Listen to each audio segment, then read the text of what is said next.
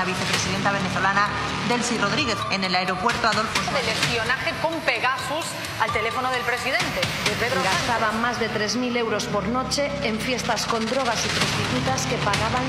Ha explicado el asesor del exministro. Las medidas por la venta de mascarillas se ocultaron en Brasil y Luxemburgo. Las relaciones de Gómez con varias empresas privadas que acabaron recibiendo fondos y contratos públicos del Ejecutivo. Una inversión alta. Buenas noches España y bienvenidos un día más al Mundo al Rojo, el programa que cuentan que otros callan. Y aquí amigos, como siempre decimos, no nos ponemos de rodillas ante el marxismo cultural, aquí solo nos ponemos de rodillas ante el Todopoderoso. Lo cierto es que Pedro Sánchez está ahora mismo acosado en Moncloa. Después de su falsa dimisión, eh, lanzó su órdago. Voy a dar un autogolpe y voy a por los medios de comunicación. Pero le está saliendo todo mal. En el sentido, en el sentido de que los jueces están yendo a por él.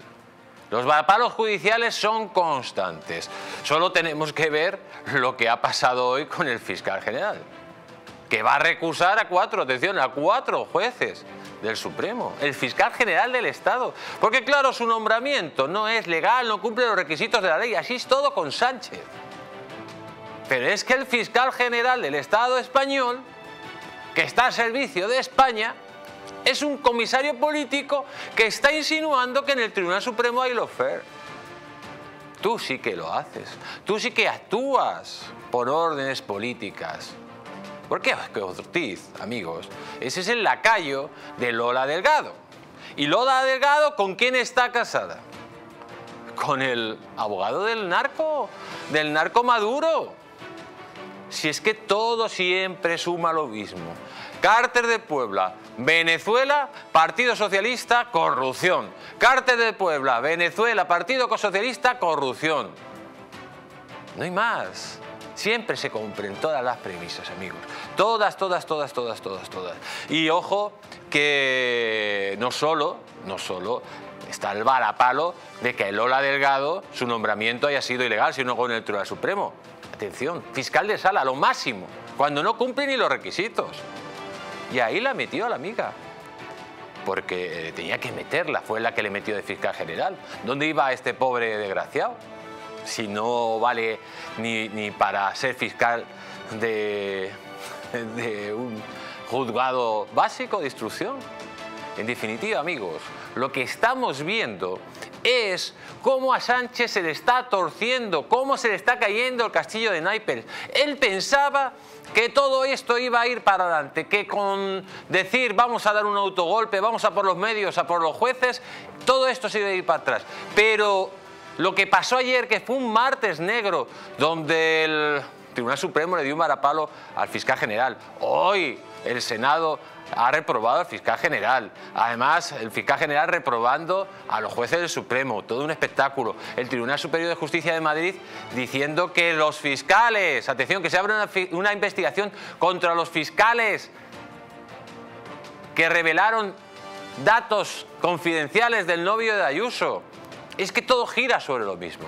Ante la podredumbre que viene de Moncloa. Pero a Pedro Sánchez le da lo mismo. A Pedro Sánchez le da lo mismo 4 que 40. Porque hoy ha salido y ha dicho, señores, vivimos en el país de las maravillas. En España se vive como nunca. Nuestra economía va como un tiro. Así lo dice todo el mundo. Pero sin embargo los españoles cada día viven peor. Cada día estáis más paro. A pesar de que eh, doña Rogelia los esconda de sus datos cada día la vida es más costosa. Los precios de la comida han subido de forma desproporcionada. Pero él dice que los datos van mejor. Claro que van mejor. Si estás endeudando al país, si esto es como un tipo que hace trampas en las Olimpiadas, porque se dopa con una deuda que nos está dejando y que está maquillando los datos. Pero la economía real es un auténtico caos. Pero para él lo mismo. Escúchenle. La inversión. España es eh, de los grandes países de la Unión Europea el más abierto, lo sabéis bien, a la inversión extranjera directa, según la OCDE, por delante, nada más y nada menos, que de la principal economía europea, Alemania, también de Francia o Italia. Es lo que ha permitido a nuestra economía crecer un 2,5% el año pasado, un 0,7% en este último trimestre, y es la que refuerza la confianza empresarial y el estímulo al consumo privado, a la inversión, entre otras razones, gracias a la recuperación, como señalaba antes, de los, de los ingresos reales, de los salarios de eh, los trabajadores y trabajadoras. No, se trata únicamente de lo que hemos hecho hasta ahora, quiero también esto compartirlo con todos vosotros y vosotras, sino de lo que otros, los foros económicos más prestigiosos del mundo, dicen que vamos a seguir haciendo en el corto y en el medio plazo. Y esto me parece muy importante. Pero este hombre es que hace eh, juega al solitario y se hace trampas y da lo mismo. Que ha subido el nivel adquisitivo de los, de los trabajadores. Si es mentira. Señores, no solo han subido los impuestos, lo que hace perder al trabajador nivel adquisitivo, sino que ha subido el precio de la vida.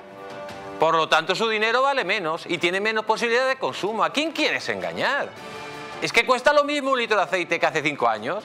¿Es que cuesta lo mismo la gasolina que hace cinco años? ¿Es que cuesta lo mismo los huevos que hace cinco años? ¿Es que cuesta lo, mismo la carne que hace cinco años? ¿A qué quieres engañar, Sánchez? Si lo único que has creado es una inflación desgalo... Bueno, total. Y da lo mismo, porque tu sistema es el sistema bolivariano, de que por mucho que suban los, los sueldos, sube tanto la inflación que el sueldo siempre se devalúa. Y luego dice, no, eh, internacionalmente viene cada vez más inversión. Es mentira, se están marchando, porque aquí no hay seguridad jurídica. Y después de la carta y de la amenaza de Sánchez, nadie invierte aquí, nadie se la va a jugar con un gobierno pre-revolucionario como el de Pedro Sánchez, que está haciendo, está a las puertas de un autogolpe. Esto es una vergüenza. Pero mientras tanto, la señora Ayuso le ha respondido y le ha dicho que los datos económicos son una falsa, porque están totalmente dopados por la deuda pública que tiene España. Atención, 1,6 billones de euros. Pero que la real es mucho más. A ver cómo pagamos 1,6 billones de euros y además este tipo se ha gastado ya todos los ingresos fiscales y desde principios de mayo tenemos que vivir de deuda. ¿Y eso sirve? ¿Estar endeudados y tener que vivir de prestados? Escuchen a Ayuso. Empezaré siendo clara. La economía en España no va como dicen. Y aunque algunas cifras maquillen la acción de gobierno, lo cierto es que la situación está dopada por el gasto público desbocado y una deuda que ya superó el 1,6 billones de euros con sus intereses. Es decir, que actualmente sobrevivimos del consumo del poco ahorro privado que queda después de... Pues ahí está, si es que no queda, si es que no se llega a final de mes. Sube la luz, sube la gasolina, sube todo. Señor Sánchez, ¿de qué presume usted? Si es que España es el cuarto país con más pobreza de Europa. El país con más paro de Europa. ¿De qué presume? Dígamelo. ¿Es que la gente ha subido, ha subido la riqueza en España respecto al resto? No, si vamos en caída libre. Si cuando Franco en el año 75 éramos la octava potencia industrial del mundo y ahora ya estamos en la 19 y cayendo. Pero mientras tanto, el que era presidente del gobierno, el señor Rajoy, hoy ha hecho unas declaraciones diciendo que el Frankenstein directamente está poseyendo al Partido Socialista y que está tomando una deriva en la destrucción de la transición. Escúchenlo. De la socialdemocracia al Frankenstein y al populismo. Este es el título del film que en este momento estamos viviendo los españoles. Había antecedentes, sí, de errores cometidos por otros, pero lo de aquí fue la ley del sí o sí, Franco, Primo Rivera, Queipo de Llano, ocupación de las instituciones, división, polarización, las amenazas a medios y jueces, los indultos, la amnistía. Lo que sí quiero decir es que el PSOE se contagió del Frankenstein, asumió su discurso, rompió con la transición y con la política de grandes acuerdos nacionales. Pues que lo que hicimos entre todos, hay algunos que quieren deshacerlo. Hoy se violentan principios constitucionales y se liquidan los acuerdos en las grandes cuestiones nacionales. Y amigos, ya lo han escuchado, si es que el Partido Socialista está repitiendo lo mismo que hizo durante la Guerra Civil. que es lo que hizo la guerra civil. Pierde las elecciones, dan un golpe de Estado. Después ganan las elecciones de forma fraudulenta, igual que el 23J. Que a alguien le cabe duda, todavía después de todas las pruebas que han salido aquí. ¿Y con quién se une? Con comunistas, con independentistas y pretende destruir la República, de hecho la estaba destruyendo, desde el propio gobierno. Un autogolpe al estilo Chávez. ¿Qué está haciendo Pedro Sánchez? Exactamente lo mismo que hicieron los socialistas. Si su ídolo es Largo Caballero, el Lenin español, un dictadorzuelo, el que decía que si no se ganaban a las elecciones se iba a la guerra civil. Si es que no respetan la democracia, si es que se repite, si es que se repite, de casta le viene al galgo. Y encima presumen, presumen de dar golpes de Estado, presumen de destruir la, democracia, presumen de llevarnos una guerra civil. Y ahora mismo presumen y se creen que tienen la autoridad moral para seguir presumiendo. Y hoy, amigos, tenemos un super programa muy especial, sobre todo a los héroes de la resistencia que están hoy con nosotros, sabiendo que está jugando el Madrid y el Bayern. Hoy, amigos, no se pierdan, porque vamos a hablar de la relación de Begoña Gómez, de esa relación con el tipo que le recomendó la carta. También hay nuevos datos sobre las investigaciones a Begoña Gómez y sobre todo hablaremos de esos viajes a República Dominicana que al parecer, amigos, se estaba utilizando de forma fraudulenta el avión. Y cómo no, seguiremos hablando de esa resolución de un juez de Estados Unidos que da carta libre a la Audiencia Nacional para, atención, investigar el Pegasus, que tiemblen en Moncloa. Y con nosotros siempre digo que van a estar los mejores. Con nosotros estará don José Antonio Vera. Junto a José Antonio Vera también tendremos en el programa de hoy a Rubén Gisbert, al que se le une nuestro querido Rubén Tamboleo, el informático de moda, Gabriel Araujo y la gran luchadora contra la ideología de género, Alicia Rubio, junto a Alex Navajas y nuestro querido Fernando Sancho, que forman hoy un equipo especial, un equipo de lujo para hacer este programa. Recordarles dónde nos pueden ver, en la TDT de Madrid, de Guadalajara, en la TDT de Galicia, la de Aragón, Valencia, Murcia. Eh, Sevilla, Islas Canarias. También nos pueden seguir a través de las aplicaciones en teléfonos móviles, en tablets, en televisores inteligentes. Si no tiene un televisor inteligente, cómprese un Fight TV Stick compatible con Google, Amazon o Xiaomi.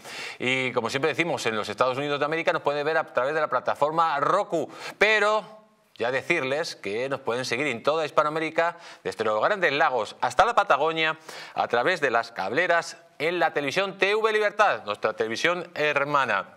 Y decir que en redes sociales pueden seguirnos en Facebook, Twitter y YouTube. Como siempre, un abrazo, hoy más que nunca, para Mari Carmen y todos esos guerreros que nos siguen y que les tenemos que dar las gracias. Y pueden mandar sus mensajes eh, de WhatsApp al teléfono que viene en pantalla al 669-728673. Y vamos a empezar por el que el castillo de naipes de Sánchez se le viene abajo. La situación cada día es más crítica. Esto es un asedio constante. Sánchez quería temorizar a todo el mundo y ha salido una respuesta contundente. Jueces y prensa están en pie de guerra. Solo falta que los políticos tengan un poquito de valor y también se pongan en pie de guerra contra Sánchez. Porque, amigos, su fiscal general ha recibido a palos por todos los lados después de confesar que había cometido un delito al filtrar los datos del novio de Ayuso. El Tribunal Superior de Justicia de Madrid dice que le van, van a investigar, a pesar de que de forma fraudulenta o presuntamente fraudulenta los fiscales no ven delito. Pero es que también Dolores Delgado, la novia del abogado del narco de Venezuela, ojo, qué relaciones, ¿eh? Una que era fiscal general del Estado y su novio era el abogado de un narco que dirige un país como Venezuela. Es que son la EZ de la EZ directamente. Pues esa también, el Tribunal Supremo ha dicho que está totalmente justificado su nombramiento. Pero es que, amigos, no solo es que Sánchez haya tenido un día negro por todos los lados, es que ya son muchos los puñetazos que le ha dado el Tribunal Supremo. El Tribunal Supremo, ya hemos dicho, Dolores Delgado, nombramiento ilegal. Madalena Valerio, ¿se acuerdan? La nombró como presidente del Consejo de Estado. Tribunal Supremo, nombramiento ilegal. Rosa María Mateo, la que dirigía Radio Televisión Española, la administradora, nombramiento ilegal. El cese del coronel Pedro de los Cobos, que se negó a obedecer, a prevaricar, a obedecer las órdenes de Marlasca porque estaría cometiendo un delito cuando se dio secreto de sumario en el caso del 8M. Condenado. Su cese ilegal. Sigamos, los decretos de estado de alarma, el Tribunal Constitucional, ilegales. Es que existe en la historia de la democracia española un gobierno que actúe tantas veces al margen de la ley, es que este gobierno y la ley tienen un problema, que no se soportan cuando no le beneficia. Por eso, las urgencias de Sánchez, las urgencias de Sánchez por controlar el Poder Judicial. Llegaba hoy Yolanda Díaz y decía que vamos a hacer una reforma a la ley del Consejo General del Poder Judicial para cuatro años, cambiamos los juececitos, eh, nos, libramos todos de todos los chanchullos que tenemos y luego ya lo volvemos a hacer de, de la otra forma. ¿Pero esto qué es? ¿Pero qué sacamantecas tenemos en el gobierno? Pero es que claro que tenemos sacamantecas de todos los colores. ¿Cómo los prefieren ustedes los sacamantecas? ¿Quieren un sacamanteca comunista? Lo tenemos. ¿Quieren un sacamanteca terrorista? Lo tenemos. ¿Quieren un sacamantecas prófugo de la justicia? Lo tenemos también. ¿Se puede tener un gobierno apoyado por la basura política de Europa que está constantemente enfrentándose a los controles de poder y que pretende tomarlos por la fuerza como lo hizo, hizo Hugo Chávez para crear aquí un Estado bolivariano, un narcoestado bolivariano. Esa es la situación que estamos viviendo en estos instantes. Y por lo tanto, si los jueces están dando la cara, si la prensa está dando la cara, si la sociedad está dando la cara, lo único que se le pide a los políticos es que den también la cara. Que se dejen ya de tejemanejes, que den la cara. Que pidan la dimisión de Sánchez, que no solo pidan la dimisión del fiscal general de Estado, Sánchez dimisión, día sí, día también, Puente dimisión, Marlasque dimisión, todos los días, a grito pelado en el Congreso de Diputados, amigos. Si es que estamos a punto de echar esa trampa, falta el empujón y la cobardía. La cobardía no va a echar para atrás al sátrapa, sino todo lo contrario, le va a dar ánimos. Cuando un matón ve cobardía, ve miedo, se echa para adelante. Al matón hay que tratarle con sus propias armas. Y la justicia y los medios de comunicación están tratando al matón con las armas que se merece. Y ojo, que luego lo hablaremos, hay nueva información de los vuelos de Begoña a República Dominicana. Hay que recordar que hay vuelos a República, 33 vuelos a República Dominicana, que nadie sabe quién iban ellos. Y ojo, y ojo, que esto puede ser la clave cuando la UCO, la UCO, que ya tiene información, se ponga a investigar. Porque esa información que Sánchez dice que es secreta, pues lo secreto de Estado, que no es ningún secreto, que esa información tiene que ser pública para poder fiscalizarla, cuando salga amigos, esto va a estallar. Porque va a estallar también la información en breve de lo que pasó en Marruecos con Begoña. Y lo que pasó en Marruecos con Begoña, amigos, es de aurora boreal. Y hasta ahí le puedo leer. Es de aurora boreal. Y recuerden, amigos, que no les engañen. Que no, que no les engañen el hombre bulo y el hombre atapuerca y doña Rogelia, que no les engañen. Porque la verdadera libertad consiste en estar bien informados.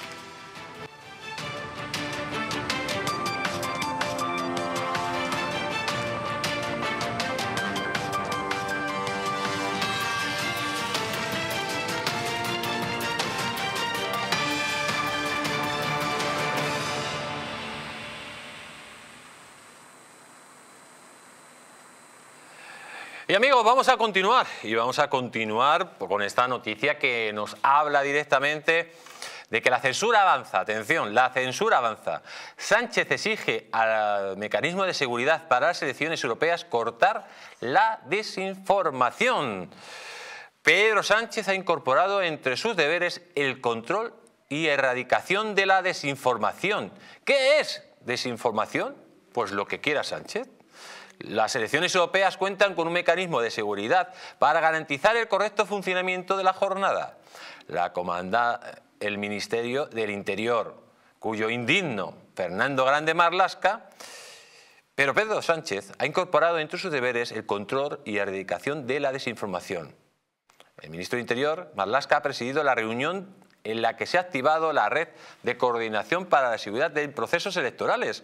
El objetivo teórico de este mecanismo es adoptar todas las medidas necesarias para garantizar la seguridad en las próximas elecciones europeas del 9 de junio, según señala oficialmente el Gobierno. Pero esta red tendrá una orden adicional, erradicar la desinformación, no por decisión judicial, sino administrativa, es decir, política.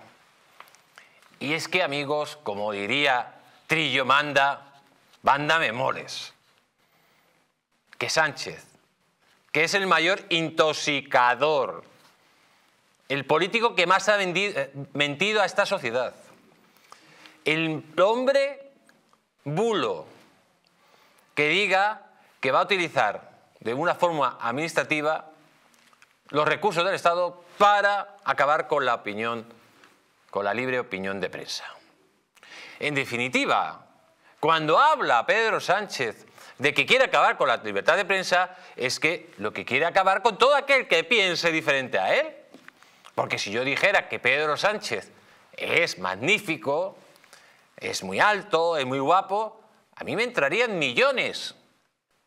Yo ahora mismo no tendría ningún problema. Pero por contar la verdad, como digo en este programa, muchas veces uno corre serios peligros, como en este caso. Pero la verdad, amigos, nos hará libres. Y lo que nos hará libres siempre va contra el socialismo y el comunismo. Y antes de que el comunismo y el socialismo acabe con la libertad de mi país, lucharemos con todas las fuerzas, hasta la última gota de sangre, Sánchez. Por eso le decimos que él intentará todo, pero no lo conseguirá. Y para hablar de este tema, amigos, tenemos al otro lado de Sky a nuestro querido Fernando Sancho. Buenas noches, don Fernando, ¿cómo está usted? Buenas noches, ¿qué tal? Don Jesús Ángel y todos los, invitados y, compañía. Muy buenas noches. Buenas noches. Aquí estaba viendo al Real Madrid. ¿Cómo, va, ¿Cómo va el Real Madrid? De momento 0-0, pero bueno, ha tenido ya palos, bueno, en fin. Yo creo que Neuer es el que es medio, medio Bayern, por lo menos esta noche. Yo creo que en general. Bueno, Neuer es medio Bayern sin duda. A ver eh, si se le escapa alguna y mete el Vinicius. A ver. Señor eh, Fernando Sancho. Eh, que lo meta Carvajal, ¿eh? ¿Cómo, cómo? Que aunque lo meta Carvajal me oh, vale. O, que se lo metan ellos mismos, da lo mismo. Lo metan ellos mismos, sí, muy bien. Dice que, decía la noticia que la censura avanza y eh, Sánchez exige mecanismos de seguridad para las elecciones europeas para cortar la desinformación. es increíble un tipo que utiliza la intoxicación permanente, la mentira como arma eh, política, eh, los bulos constantes. Además, quiera que los demás no tengan libertad de expresión y puedan decir por lo menos que las mentiras que dice son mentiras. Además, el mecanismo, digamos, para controlar esa desinformación se lo encarga nada más y nada menos que a Grande Marlasca, que eh, bueno, pues que es uno de los personajes realmente más siniestros de todo este de todo este gabinete, ¿verdad? Y además es uno de los personajes que ha sido incapaz de controlar, pues que por ejemplo en los últimos en las últimas elecciones haya habido de repente pues eh, que se ha bloqueado la web de correos, que ha habido un ataque y, que, ha, provocado un parón de no sé cuántos en la, en la web oficial del Ministerio del Interior.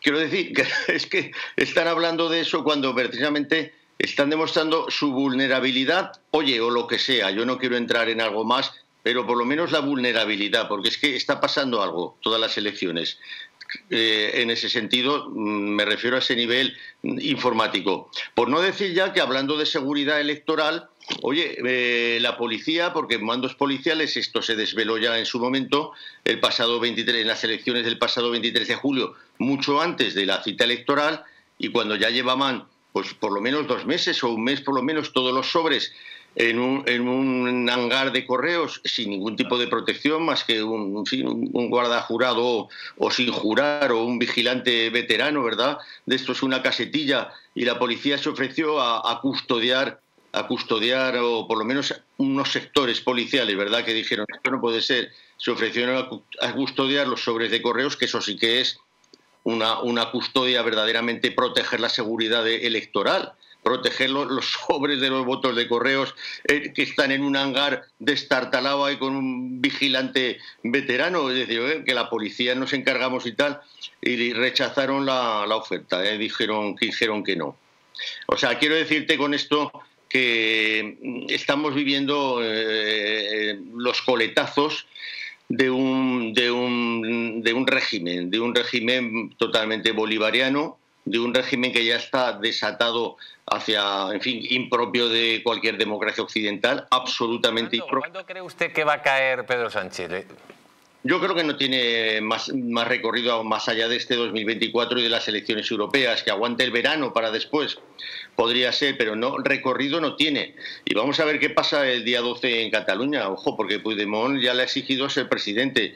Para que no fuera presidente Puigdemont tendría que, perdón, que he girado la vista porque me había parecido alguna. Eh, para que no sea presidente Puigdemont eh, tendría que tener un resultado extraordinariamente excepcional. Eh, Salvadorilla es decir, que la única posibilidad, y, bueno, y no sé si, si, se ha enterado lo último, lo último que ha pasado con Puigdemont. Cuéntenos, cuéntenos. Bueno, pues que la juez, eh, la magistrada Susana Polo, de, que instruye la causa, que tiene la causa abierta por Tsunami Democratic en el Tribunal Supremo y que ha citado a declarar de momento por videoconferencia, aunque la representación de dos policías quieren que lo haga de manera presencial y que le exija que la declaración sea eh, presencial, eh, le ha mandado declarar en la semana del 17 de junio, eh, tiene que declarar Puigdemont en ese procedimiento ante el Supremo, de momento decimos por videoconferencia, pero ha mandado a la policía, que se reclamó al Interpol, pues tener localizado el paradero, el domicilio de Carles Puigdemont, algo que es normal el magistrado. Bueno, pues ya sabe cuál es la respuesta de la Interpol de Francia, ¿no? Que ha estado examinando todos los registros, que lo ha estado mirando todo y que Puigdemont está ilocalizable, es decir, que está en paradero desconocido, cuando está en Argelers, esa localidad del sur de Francia, dando mítines todos los días y colgando comentarios en la red de X. ¿no? Pues esta ha sido la respuesta de la Interpol a la magistrada Susana Polo. Bueno, me acaban de decir que han metido gol el Bayern, ¿no? Pues, a ver, así, efectivamente. Ha habido, es que no lo he estado siguiendo, pero mira, para. ¿Ahora qué ha pasado? Ahora se están. Ahora parece que hay no lo sé, oye, 1-1, espera a ver, un momento, que cambio, de, que cambio de gafas y te doy la información. 1-1, el Madrid ha debido empatar, no sé si lo estarán eh, si lo están revisando, pero 1-1, ¿eh? Pues 1-1, amigos, gracias a Dios. Lo que ha dado de sí su intervención, don Fernando, ha pasado de todo. mira, yo te voy a decir una cosa, eh, don Jesús Ángel, ya sabes que acabé la carrera de periodismo en el año 82, o sea que ya he llovido, ¿verdad? ¿Eh? Con pues esto te puedes hacer idea. Pero llevaba ya un año trabajando cuando había acabado cuarto, que entonces era una carrera de cinco años, una licenciatura, ¿no? Y en la Complutense precisamente. Y, durante casi nueve años me dediqué al periodismo deportivo. o sea que. Es verdad. Pues don Fernando, como siempre, un placer tenerle aquí y reciba ese gran abrazo de, de Distrito Televisión, que es su televisión. Desde luego, y lo mismo digo, un gran abrazo para todos. Buenas noches. A ver si en Madrid vete otro. A ver si lo celebramos, a ver si lo celebramos. Y amigos, vamos a continuar, vamos a continuar presentando a don Gabriel Araujo. Don Gabriel, buenas noches, ¿cómo está usted? Buenas noches. Hoy es de los valientes que está aquí en el mundo rojo en medio del partido. Sí, señor, 0 a 1 de momento están... No, 1 a 1. Sí, pero están eh, consultando el bar ah, todavía, o sea que hay que ver gol en propia puerta del Bayern. bueno, bueno. Le voy a leer la siguiente noticia, don don Gabriel. Dice, Podemos presentará una ley antibulos en las Cortes para prohibir la financiación pública a medios condenados por difundir noticias falsas. Eh, decía Pablo Fernández, que ha detallado que se trataría de una modificación del artículo 8 de la Ley de Publicidad Institucional de la Comunidad, en este caso de la Comunidad de Castilla y León, dice que este país y esta comunidad tiene un grave problema de, con noticias falsas y la desinformación. La divulgación de noticias falsas se ha multiplicado por la proliferación de medios digitales en los que tiene cabida todo tipo de contenido sin pasar los filtros de los medios tradicionales. Ha denunciado Fernández, que ha señalado que muchos de estos supuestos medios que publican noticias falsas están siendo financiados por la Junta. Pero claro, pero este hombre, o sea, que hay que hacer un filtro ahora, o sea, eh, un sensor. O sea, si yo hago una noticia, para que sea buena, me tiene que dar este sacamantecas, me tiene que dar el visto bueno. Pero esta gente, señor Araujo, ¿de qué? ¿De qué estercolero han salido? Bueno, Podemos es populismo y evidentemente esto es eh, populismo ni más ni menos eh, el hecho de que cualquier medio condenado, no podría haber noticias ya porque están todos condenados, están incluso los medios... El país es el medio más condenado, por ejemplo, o sea, el país que es el que más tiene subvenciones es el medio más condenado. Efectivamente, por tanto el populismo es esto, es medidas para que la clientela les aplauda, ¿eh? la clientela un poco eh, habló en el sentido de los patricios de la antigua Roma, ¿no? que pagaban a, que les aplaudieran en, el foro. Pues esto ocurre igual, ¿no? Podemos estar francamente en retirada en lo que tiene que ver con la estructura de partido y lamentablemente tienes estas ideas completamente... Eh, Marxistas, claro. Exactamente, populistas y, escandalosas. Es que son ideas totalitarias, amigos. Y pero vamos a seguir porque pocos y parió la abuela. Que tenemos a Sumar, atención, Sumar estudia una reforma del Consejo General del Poder Judicial con mayoría simple, pero solo por un mandato, ojo. O sea, primero vamos a cambiar la ley, cambiamos la ley, con la mayoría Frankenstein ponemos nuestros jueces, solo un mandato, pero claro, esos jueces, como han hecho una ley ad hoc para que el Consejo General del Poder Judicial no pudiera nombrar a los jueces que se han ido del Tribunal Supremo, de la Audiencia Nacional, etcétera, etcétera, etcétera, controlarían durante 25 años el Poder Judicial. Y de ahí, lógicamente, el golpe de Estado. Porque el único contrapeso ahora mismo, los dos contrapesos principalmente, son los jueces, que están dándole varapalo, varapalo, varapalo a Pedro Sánchez, que intenta destruir el Estado de Derecho. Si eso se quitaría, solo quedarían los medios de comunicación que estarían directamente desnudos ante el rodillo totalitario de Sánchez, señor Araujo, porque los partidos políticos que tenemos, pues bueno, están ahí a ver lo que pasa. Sí, la agenda es la venezualización de España, eso está claro. Venezuela, lamentablemente, ha recorrido este mismo camino. Sumar, hablando antes de Podemos, en cuanto a populismo, sumar también y cada vez son más esperpénticas sus propuestas, es absolutamente inviable, porque incluso para lo que pretende sumar, ni siquiera eh, es suficiente el cambiar la, ley orgánica del sino que habría que incluso hasta que cambiar la Constitución. Por tanto, otra, otra de las consignas que es únicamente para su clientela, para que les aplaudan, eh, es la política tuitera, ¿no? Son, están tan en, baja forma en lo que tiene que ver con el tema de la integridad política que son capaces de anunciar cualquier medida, por muy disparatada que sea, con tal de lograr algún like y algún compartir, ¿no? Pues vamos a seguir, amigos, porque mm, miren esta noticia, es que están en pie de guerra todo el mundo con Pedro Sánchez, por eso, eh, ojo, que hay una rebelión directamente de los fiscales madrileños contra Álvaro García Ortiz por el caso Ayuso. Estamos hablando que el Ministerio Público ha tenido que nombrar atención al jefe, al fiscal jefe de Extremadura, porque ninguno de Madrid quería acatar sus órdenes. Los fiscales de la Fiscalía Provincial de Madrid se han rebelado contra el fiscal general del Estado.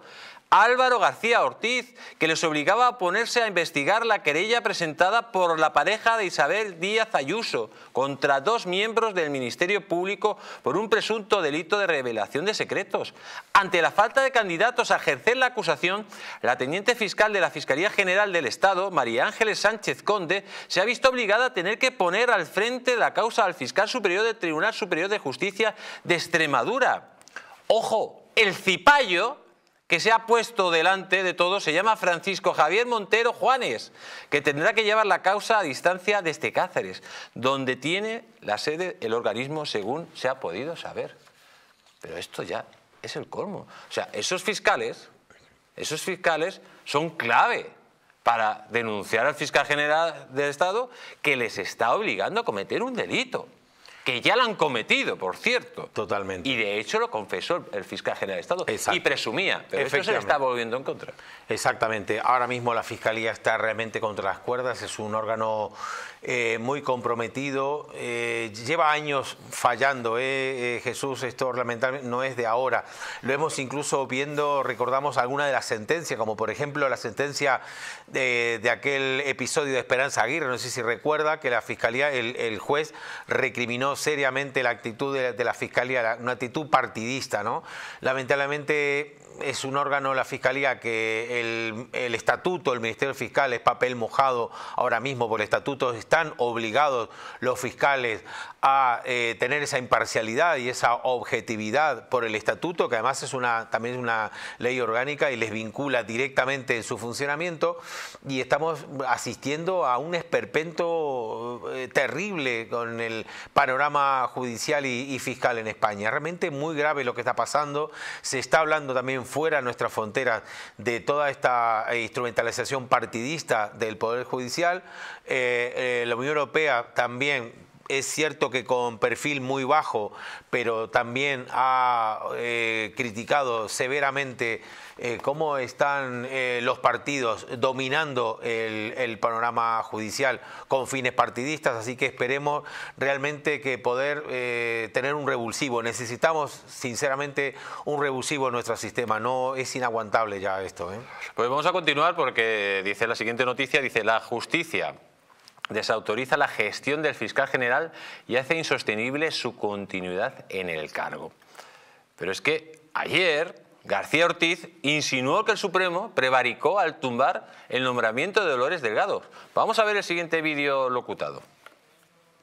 Bueno, no sé si el fallo era esperable, pero desde luego no ha causado sorpresa, porque eh, la línea de exigencia de la Sala Tercera del Tribunal Supremo respecto a los nombramientos de la Fiscalía General es, eh, como digo, muy exigente, muy distinta a toda la trayectoria, muy distinta a toda la doctrina o la jurisprudencia que venía teniendo esta sala tercera. Así que no ha causado este, excesiva sorpresa. ¿Y por qué ha cambiado, en su opinión, el tipo de listón que pone a la hora de valorar sus decisiones? No lo sé, habrá que preguntárselo a, a la propia sala tercera. Yo entiendo como debe ser que los nombramientos que se han venido realizando son conformes a derecho, hemos sido corregidos por la Sala Tercera y tenemos que seguir los criterios de la Sala Tercera. No hay más que decir. Los fallos de las sentencias se ejecutan, se asumen y bueno, tendremos que leer, por supuesto, qué es lo que nos quiere decir esa sentencia. Pues ahí tenemos a este señor insinuando claramente que los jueces del Tribunal Supremo están prevaricando. El fiscal general del Estado no Puigdemont, no Rufián, que hace honor a su apellido. No, no, el fiscal general del Estado. Pero ojo, que eh, García Ortiz no se ha quedado ahí, porque ha pedido apartar a los magistrados del Supremo que deben decidir sobre su permanencia en la Fiscalía, porque también el fiscal general del Estado no cumple los requisitos que marca la ley para ser fiscal. Así se la gasta Sánchez. Vamos a ver el siguiente vídeo. El fiscal general del Estado, Álvaro García Ortiz, ha pedido apartar a cuatro de los magistrados del Tribunal Supremo que tienen que estudiar el recurso de la Asociación Profesional e Independiente de Fiscales contra su renovación y decidir si continúa o no en el cargo, toda vez que son los mismos magistrados que ya dijeron que había actuado con desviación del poder al proponer a Dolores Delgado como fiscal togada. Fuentes fiscales han confirmado que, tal y como ha adelantado el Independiente, García Ortiz ha presentado un incidente de recusación en el que solicita que cuatro magistrados de la sección cuarta de la Sala de lo Contencioso Administrativo no se hagan cargo de dicho recurso, las mismas fuentes han precisado que la petición ha sido presentada a título personal por el propio fiscal general y no por la abogacía del Estado. Se da la circunstancia de que los cuatro magistrados que García Ortiz pide apartar son los mismos que esta semana han acordado anular el nombramiento de Delgado como fiscal de sala de la Fiscalía de Derechos Humanos y Memoria Democrática. Esto sucede porque la sección cuarta es a la que corresponden los asuntos relativos a personal o derechos fundamentales. De este modo, las fuentes jurídicas han señalado que en este caso no se ha recusado a la quinta magistrada que conforma dicha sección, dado que no participó en la deliberación y fallo del pasado noviembre relativa a la designación de Delgado como fiscal togada de la Sala de lo Militar del Supremo, que es en lo que se basa el incidente de recusación. Pues eh, primero de todo tenemos que rectificar una información, porque el gol que ha metido en Madrid se le han anulado, sigue 0-1 y quedan 8 minutos. Para veremos lo que pasa. Tenemos a- al otro lado del Sky a nuestro querido Alex Navajas para hablar de este tema. Buenas noches, don Alex, ¿cómo está usted? ¿Qué tal? Buenas noches, Jesús Ángel, estupendamente. Eh, bueno, estamos viendo un fiscal que es un comisario político, un fiscal que le van a jugar el Tribunal Supremo a ver si cumple los requisitos para ser fiscal de General de Estado. Ya no los cumplía en su momento su sucesora, Lola Delgado. Pero es que ayer en televisión española el tipo directamente habla de prevaricación de los tribunales, de los magistrados del Supremo, poniéndose en el mismo mando que Puigdemont y que toda esta patulea. Eh, ¿Hasta cuándo vamos a ver un comportamiento golpista? Porque esto ya es golpista desde las mismas instituciones y fuera de la ley. Pues Jesús Ángel, hasta que Sánchez siga en el poder. Yo no he visto un tipo más sectario, más eh, tiránico, absolutamente tiránico, déspota. Eh, es un aprendiz pues, de Maduro, de Chávez, de, Castro, de, en fin, de lo peor que hemos, que hemos eh, podido ver.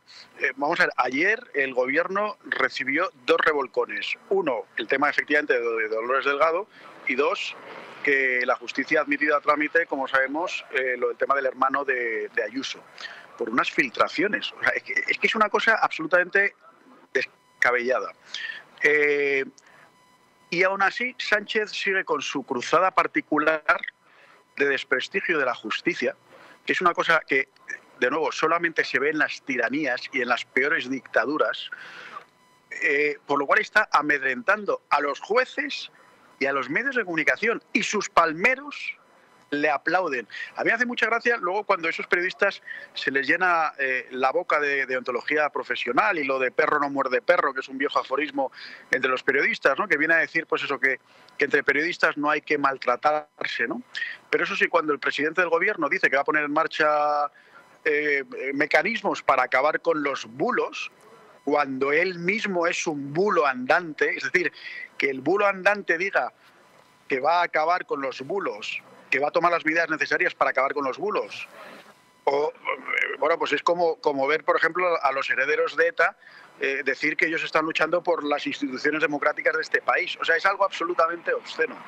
Y entonces, toda las- la sombra de sospecha que está proyectando Sánchez sobre los eh, jueces y sobre los, los medios de comunicación, eh, donde, donde poco menos que, mm, en fin, que nos intenta vender la izquierda, que eh, la judicatura es una, una cosa fosilizada que viene de- del franquismo, lo cual al final uno dice, oye, pues estos jueces deben ser prácticamente inmortales, porque si vienen desde el franquismo, en fin, ya han pasado casi 50 años, ¿no? No olvidemos también los comentarios que hizo hace, hace unos meses, hace ya un año, eh, no recuerdo qué dirigente de extrema izquierda, diciendo claro que el, el problema el problema de los jueces de Madrid parece, ¿no? creo que creo que la actualidad la actualidad se deja ver. Por, Pero lo, bueno. por lo que veo, ah, pero, lo- lo voy a, Pero- perdón un segundito, lo voy a preguntar aquí al señor Araujo. Acaba de meter con el Madrid. Todavía no se ha Aquí da actualizado, igual lo donde, siento. donde te pongas porque, en fin, por todo Madrid se ha oído el clamor. Pero nosotros seguimos con los jueces, que, que, en fin, que también es, que también es duro. No, eh, decía este personaje de, de extrema izquierda que decía, claro, que el problema, eh, que, que el problema de la judicatura es que eh, solamente podían acceder los ricos, porque los ricos son los únicos que podían dedicarse a estudiar sin trabajar y que por eso no entraba la gente de las clases populares. Dando a entender que lo importante no es que un juez sea justo o se ciña a la ley o no, sino eh, su procedencia social, lo cual, en fin, no deja de ser un chiste, ¿no? Y cuando, teniendo en cuenta también que el mayor representante de la judicatura progresista, el juez Baltasar, eh, Garzón, es un prevaricador de libro. Y le siguen llevando a los medios de comunicación, siguen pidiendo su opinión, siguen teniéndole por un hombre respetable cuando es un juez que ha prevaricado, que es lo peor que puede hacer. Entonces, en fin, tú me has preguntado, ¿hasta cuándo va a durar esto? Pues Jesús Ángel, mientras Sánchez dure y también, he de decir, mientras la oposición siga como está, porque hay otro problema, y es que yo creo que ha calado bien el mensaje que Sánchez y el Partido Socialista han querido transmitir, de que todo el tema del bloqueo en el Consejo General del Poder Judicial es por culpa del inmovilismo de- del Partido Popular. Y no es así. es por el sectarismo de Sánchez. Pero en este caso la oposición no está sabiendo explicar bien esto, que el problema no, es, no son ellos, no es que ellos sean eh, inmovilistas, sino el problema es Sánchez. Pues don Alex Navajas, eh, muchísimas gracias por estar aquí y fíjese todo lo que ha pasado en su intervención, que Madrid ha empatado. Me parece que vamos a, la final. Vamos, a ver, vamos a ver. Un fuerte abrazo. Gracias, un, fuerte abrazo, buenas noches. buenas noches, hasta luego. Y vamos, eh, lógicamente, a continuar, porque, bueno, yo quiero poner un vídeo de ayer, el rapapolvo que dieron al señor Puente. Es el, hubo cajadas en el Pleno con el corrosivo retrato a Óscar Puente por un senador del Partido Popular. Aquí criticamos cuando hacen mal las cosas los senadores, pero cuando lo hacen bien, lo aplaudimos. Y esto que van a ver ustedes es antológico, véanlo inverso, le explico. Un alcalde de Valladolid compra material a un amigo. El amigo le invita a unas vacaciones en un yate. Paga las vacaciones el amigo a pesar de que el alcalde decía que se pagaba sus vacaciones. Pero el juez entiende que no hay causalidad y yo estoy seguro que está justificado. Debe ser lawfare inverso. Después explica que Castilla y León es un geriátrico a cielo abierto, demostrando una enorme estupidez a cara descubierta.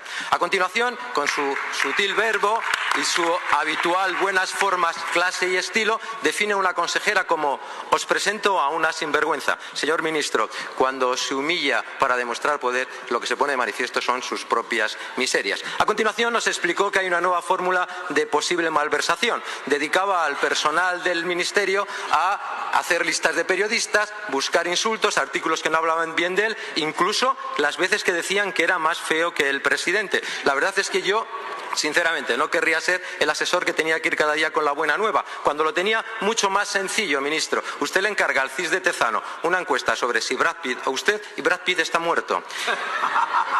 En los últimos días hemos sabido también que la, tauromaquia es irrelevante. Hemos visto cómo acusaba de fascista a un conocido director de acreditada solvencia de defensa de las libertades. Y también nos ha generado un importante conflicto internacional con un país amigo. Pero mire, como decía Bertrand Russell, el problema es que los estúpidos están seguros y los inteligentes dudan permanentemente. Yo admiro siempre la certeza con la que afirma sus cosas, señor ministro. Pero, mire, lo que no puedo pasar es su última definición del presidente del Gobierno.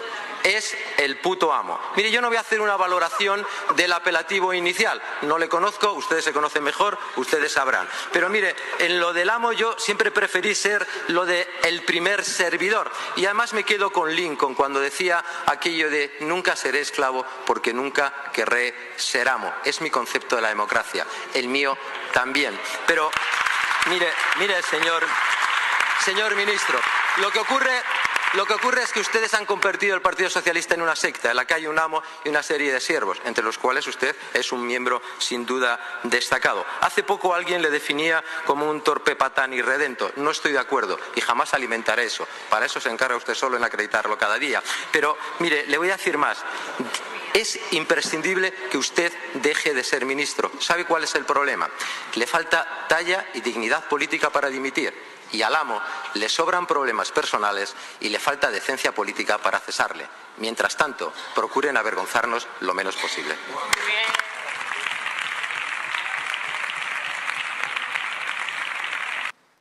Pues bravo, esto es un homenaje a un buen político, Juan José Sat Vitorio, espectacular. Yo creo que sobran los comentarios, como dejó al gañán de Oscar Puente directamente muerto, tocado y hundido.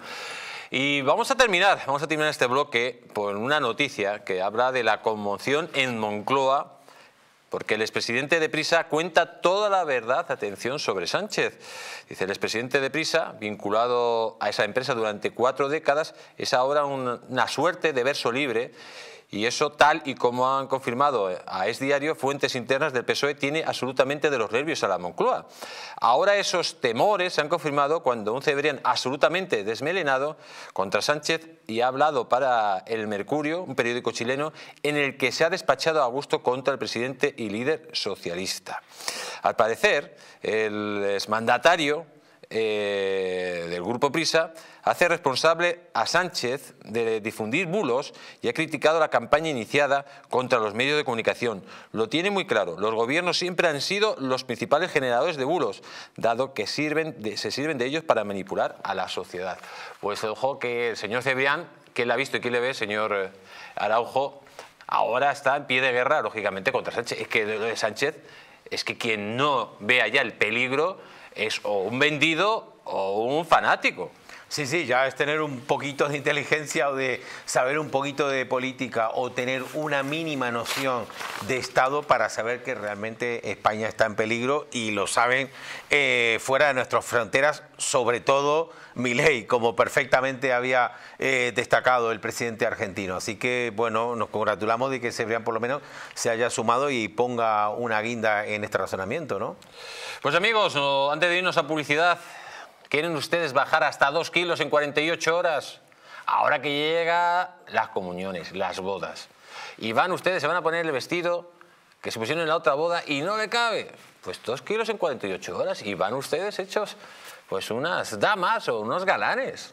Así, ¿pueden cerrarse la chaqueta? Pues se cierra la chaqueta, porque con el eh, Pack Express se podrá quitar esos dos kilos en 48 horas. ¿Te gustaría perder esos dos kilos de más? Volver a utilizar aquellas prendas que tanto te gustaban. Naturhaus te trae la forma más rápida y eficaz de hacerlo. En tan solo dos días podrás bajar de peso gracias al Pack Express, un producto de Naturhaus que contiene todas las comidas y dietas necesarias para perder peso en tan solo 48 horas. Te ofrecemos un servicio personalizado y además, además podrás perder hasta 2 kilos en 48 horas. Y con la compra de un pack express, pues te regalamos un bote de crema centella asiática. No te lo pienses más y ves a tu tienda Naturhaus o visita naturhaus.es. Y olvídate de esos dos kilos, rapidito, rapidito. Nos vamos a publicidad, amigos, pero no se nos vayan, porque vamos a hablar de la aliada de Begoña Gómez. Atención, de la socia de Begoña Gómez en Marruecos, que desembarca en las Canarias para invadir España con productos basura de Marruecos. Atención el golpe de mano de los tejemanejes de la socia de Begoña Gómez en Marruecos. ¿Estará también Begoña metida en este asunto? Lo vamos a ver después de publicidad. No se vayan, porque si no nadie, nadie se va a contar.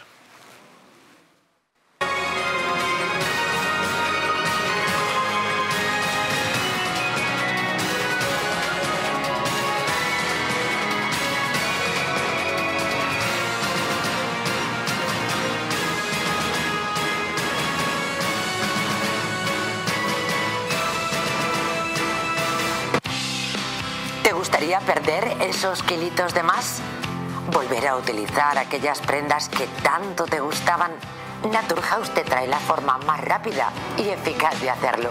En tan solo dos días podrás bajar de peso gracias al Pack Express, un producto de Naturhaus que contiene todas las comidas y dietas necesarias para perder peso en tan solo 48 horas. Te ofrecemos un servicio personalizado, no tendrás que saltarte comidas ni pasar hambre. El Pack Express se adapta a ti.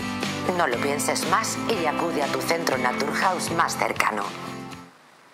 ¿Te molestan las manos al realizar las tareas diarias? Frente al dolor, utiliza los guantes de Relax Quanting Nanotech.